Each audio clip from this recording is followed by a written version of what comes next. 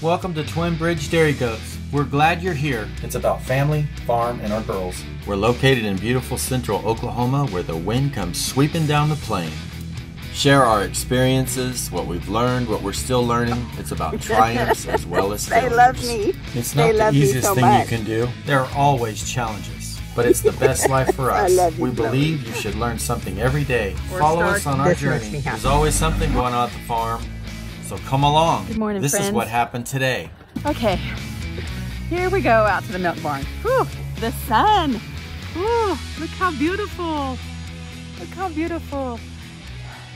It's a beautiful day here in Oklahoma. You know what? I'm going to change my route to the barn. I actually had one of our our uh, subscribers comment on how beautiful our irises are in front of the garden, and so I will walk that way and show you guys. These were all transplanted from our son's property and uh, my brother's property, and slowly, slowly over the years, they have actually filled in and created us a nice border in front of our garden uh, fence. We have chicken wire down um, along the garden to keep the chickens out, but you guys know that don't always work. I've got a rogue chicken that keeps getting up in the garden, uprooting my lettuce. I'm not very happy about it and told Brian last night he's actually gonna have to clip some more wings. But anyways, here we go. I am walking, see how beautiful they are? I've got some purple and some yellow and some, ooh, the sun's blinding me, light purple there in front of the garden. I absolutely love them. They're absolutely gorgeous. Anyways, I would love to have some more yellow and my sister-in-law actually said she had some white ones and I thought, hmm, that might be kind of pretty in there. But so we have them all in front of the garden. We also have them around the storm shelter, which is a nice little touch to that area. But on the way out to the milk barn, I feel like I'm getting a slow start this morning, but really I'm not. It's um, 7.30 on uh, Monday morning and I'm just now walking to the garden, but um, it's a beautiful day here in Oklahoma. I'm looking forward to the day. We have got several things planned this morning that we have to take care of. Brian actually beat me out here this morning and he's already changing the water buckets and getting them all cleaned up. I have all my milking uh, jars and bucket and pail. Uh, there was a lot of jars to carry this morning because we actually put Belle in the um, lineup. We're going to milk Belle this morning. She is four weeks fresh, so that's exciting. We're going to add her to our lineup and uh, milk her. We actually moved our milkers, our three consistent milkers over here on the south side. Belle's bucklings, which are over there in the closed birthing stall, we're in the pen with all of these girls. And you guys know that these are my yearlings out here and my girls that are, have not been bred. And I don't need that. I don't want that. So I brought everybody over here, all of the uh, mamas over here because this area has two by four welded wire up along the uh, fence panels and they can't slip through the fence. But anyways, let me turn you guys around and show you. So here are ah, the littles.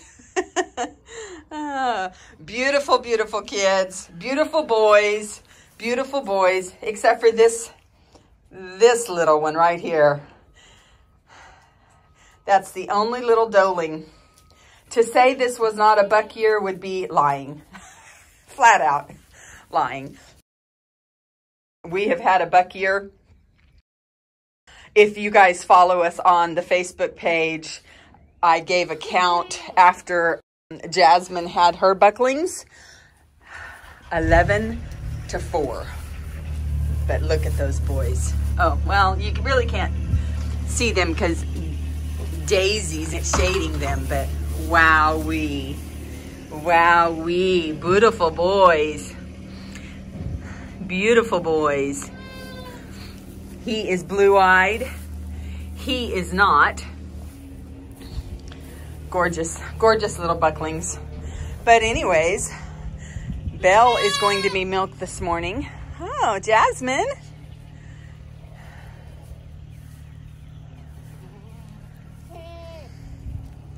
We've got several things planned this morning. We're going to be out here for a while. I'm going to put Belle up on the stand, say, take some pictures of her third freshening udder. Third freshening, but I told Brian, I wonder if you could say it's her third freshening, but really it's only her second udder. Second freshening udder because last year she had no udder because of all of the uh, illnesses she was dealing with. So, oh, see, looky there. That's a cobalt block. That's awesome. That's something that we added to the yards because we were having some issues with some uh, milk not tasting quite right and was told that maybe adding a cobalt salt block would help. That is something that they need, which it is in their Sweetlix uh, minerals, but maybe there wasn't enough. But anyways, Belle, she's looking awfully skinny. She's putting everything she's got into her milk. And so I'm going to be spending some time trying to get her, get some weight on her. And uh, so she can continue feeding those boys back there. Both of those boys have been sold and will be going to new farms. But, and the uh, little girl is also sold and going to a farm in Missouri. Super excited. Super excited about that. Uh, the little black with white belt, he is available. And of course, these two little bucklings back here will be available. Oh, cousin love. They love each other. They really do love each other. But anyways, guys, I've got to get started. Like I said, we've got a lot of things planned today. We are going to be milking. We have got to disbud those boys. We're going to try to wether Mulan's two bucklings over in this pen, which you can't see them, excuse me. They haven't come out from underneath the shelter. But let me go over here and see.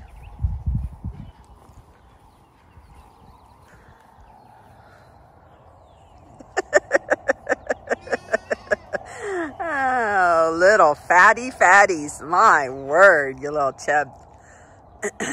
My word, you little chub.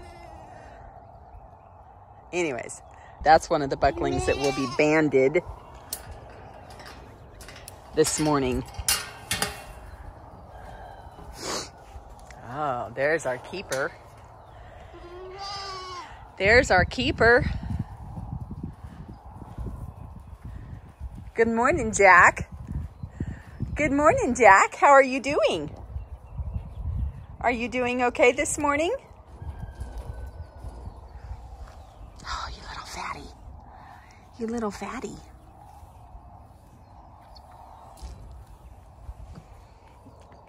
Jack! Hey, oh, you want some attention too, Vaughn? Do you need some attention? Are you choking yourself on the fence? Ah. Our beautiful Vaughn. Well, I guess they're not going to come out here and greet me this morning. There! Hey, buddy! This is our other little buckling that we are going to be just uh, banding. And of course, we will be doing a video on that and that procedure.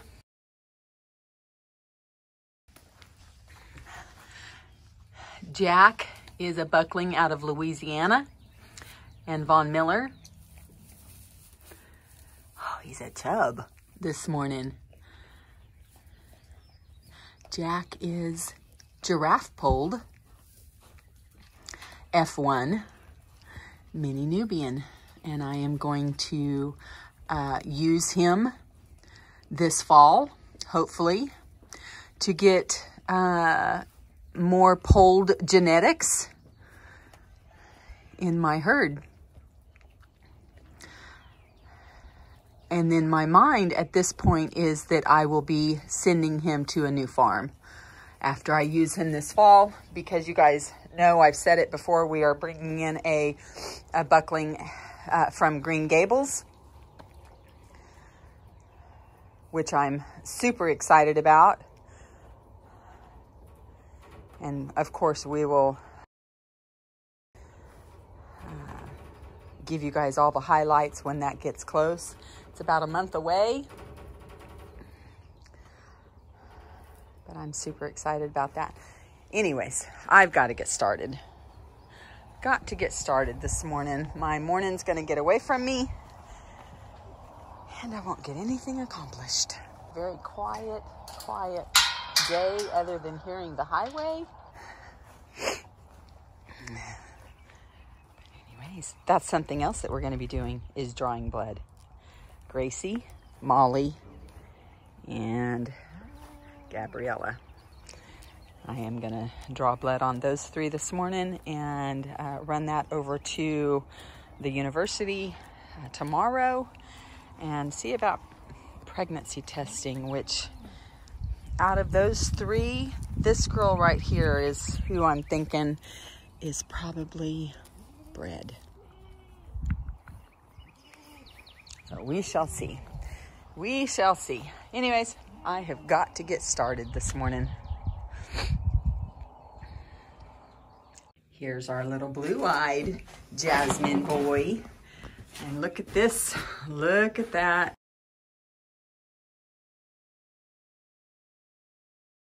Disbudding. Just budding job. You want to see that copper ring around those buds because that kills the nerves feeding that horn bud. Dairy goats for show and for safety purposes uh, in our herd, we disbud. Uh, they have to be disbudded if you do plan on showing um, dairy goats. That is a rule with uh, MDGA and ADGA. Most of your uh, registries don't allow horned animals in the show ring. But anyways, success on uh, the little blue-eyed buckling that has black moon spots. I think that's what we're gonna we're gonna say. Mm -hmm. I will mm-hmm. do a little bit more research to make sure. But um, anyways, gorgeous little guy. Okay, here's the second little Jasmine boy. This, this little guy has brown eyes and he actually is roaned, which roaning is these white hairs in his moon spots. That's what roaning is, white hairs in, in their spots a lot of times. But anyways, his uh, budding, disbudding job turned out fantastic also.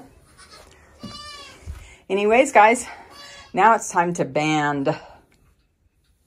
Not these boys, though.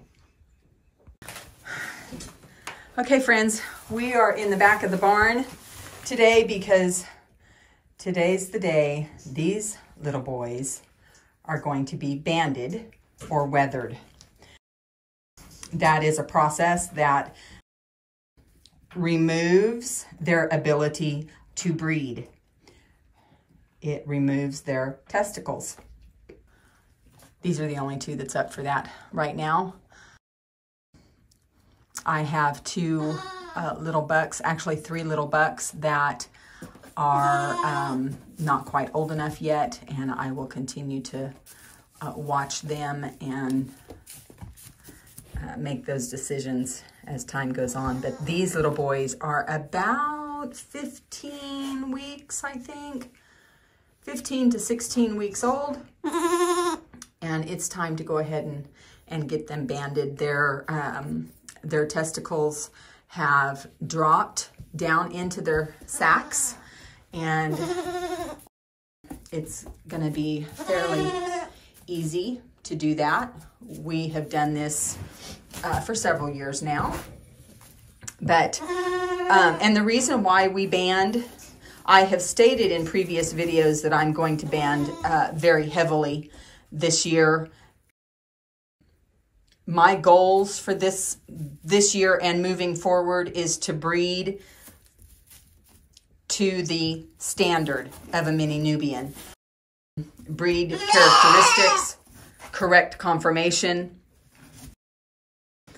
uh, in the herd because we do not need to continue putting bucklings or bucks out there that do not meet those standards or that conformation. Um, it just it it just doesn't help us as a um, as mini Nubian breeders to be offering animals that don't conform. And these little boys don't conform. Uh, these are Mulans, little bucklings, and um, which, you know, she is a gorgeous doe. And um, I have kept a doeling out of her. Chloe is Mulan's uh, daughter and a full sister to these boys. These boys are Vaughn's sons. But for some reason, I just haven't ever felt the need to um, retain or, well, I know the reason. I know the reason. I haven't had a buckling out of Mulan and Vaughn that I would consider retaining. That's just flat out. And and use for breeding purposes. I have not sold a buckling out of Mulan and Vaughn for several years. And, you know, I, in early on when we took on uh, the mini Nubians, I did sell uh, bucklings out of Mulan. And looking back, a newbie mistake. Newbie mistake. Sure. And so, anyways, moving forward in the learning process, the longer we've had uh, the mini Nubians, the the more you learn, the more my eye uh, looks for those characteristics, those um, flaws, I guess, and I can see them. This little boy right here, I'm not happy with his nose. He has got kind of a dished nose, looks to me like. And so does the one that Brian is um, petting just not super impressed with that. And so why would I um, sell him and put him back in um, the stock for breeding purposes if he doesn't even match the um, characteristics, breed characteristics. Just I'm just not going to do it. Um, Mulan's udder is nice and early on, she was giving me half a gallon or so, but you know, this is her sixth kidding. But I just haven't been real impressed with her udder either. And so, um, sons tend to carry their mother's genetics and pass on their mother's udders. And so, I'm just not going to do that. So, these boys are going to be banded and wethered, and they will be perfect companion animals or pet animals uh, to a, a family or to another farm. Goats in general are herd animals and need companions. They are not happy being alone. When I sell any goats, any kids, I make sure that they are going to a home that has kids about the same size because you don't want to put a 8 week old kid in with adult an adult herd they will just get beat up so it's always good to offer a wethered animal along with them uh, so that they have a friend and can be separated and uh, not be alone if that makes sense makes perfect sense to me but anyways, we'll we'll get started and show you guys the process. First thing we're going to do is we have our alcohol, the banding tool, and cotton balls. And we're gonna clean him up really good. These boys are super fat, just on, just on hay. Is cleaning the area where the band goes around. And then we're going to use the tool to slip that band around the testicle. But in the process, we are going to make sure that both of the testicles are in the sack.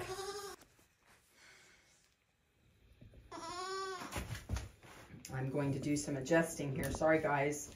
I zoomed in on the camera. I'm going to try to keep my head out of the way.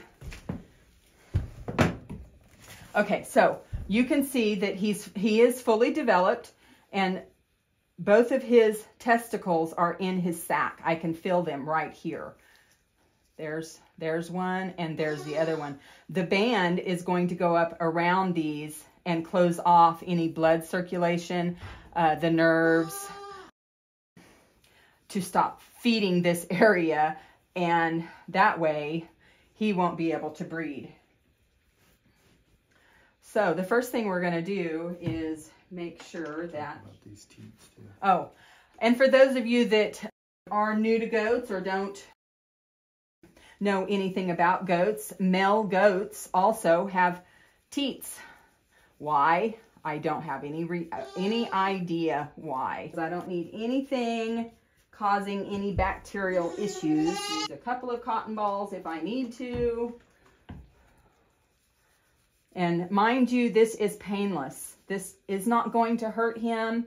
Um, he might have a, I guess I shouldn't say that because I really don't know, but by their actions and what they do, I've never seen any There's no evidence that he is, in, they are, have been in discomfort. Okay, can you twist him just a little bit? No, to me. His bootay needs to be level. There we go. And really, he could probably slide off your lap just a little. Pick him up and put him up against your chest more. There we go. There we go. There we go. That's more of a natural. Okay, so then we're going to take, I'm, I'm hoping that you guys can get this. We're going to take this and open this band and slip it over. Okay, so you want to get, make sure before you let go of this band that both of his testicles are down in his sack you want to get them as close to the teats, teats as possible. And then I'm just going to flip this back. One, oh, there's two, there. There we go. Done. Goodness sakes. Okay, both of his testicles are in that band area. I'm going to grab a cotton ball with some and go ahead and clean around this area again. Close to his teats. His teats are still here and here. Band is up around the top of his testicles. Testicles are in the sack. There's one, and there's the other one. Go ahead and clean this area for some reason. But anyways, looks gross. All right, and you can see he's just fine. Look at how fat he is. Oh my goodness. Chat later moon spots. I think that's what we're gonna we're gonna say. I will do a little bit more research to make sure. But um, anyways, gorgeous little guy.